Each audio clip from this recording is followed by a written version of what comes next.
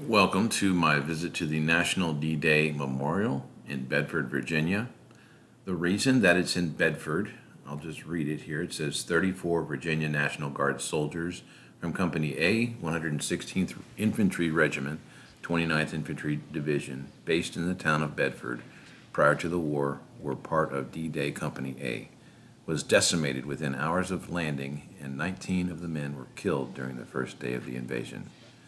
Four more died the rest during the rest of Normandy campaign. The town and the Bedford boys proportionately suffered the greatest losses of any American town during the campaign, thus inspiring the U.S. Congress to establish the D-Day Memorial in Bedford. We are walking now towards the um, flaming sword that they made out of uh, vegetation and it's an interesting thing that they've done here. That's the very top of it.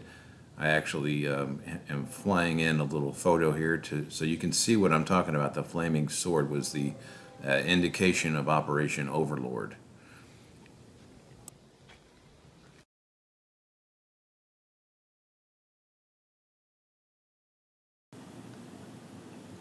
There's Douglas MacArthur at the bottom of the uh, shield. You'll see he's at the hilt of the sword, basically. There the handle is, and then you're looking towards the memorial itself at the bottom of the shield.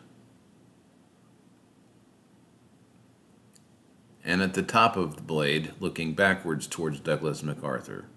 That's what it looks like there.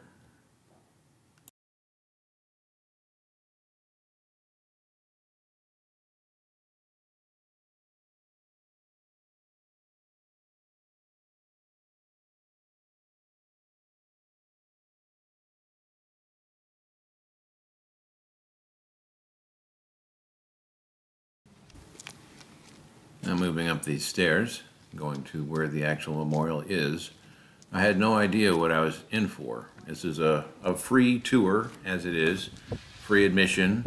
Um, so, and, and the man there in blue is the guide, so to speak. And uh, once I got up here, I kind of just blew right past him. I'm sure he had some important things to say, and that was sort of my bust for walking on by him. But I kind of wanted to see uh, what was going on up there, and I I didn't really want to wait.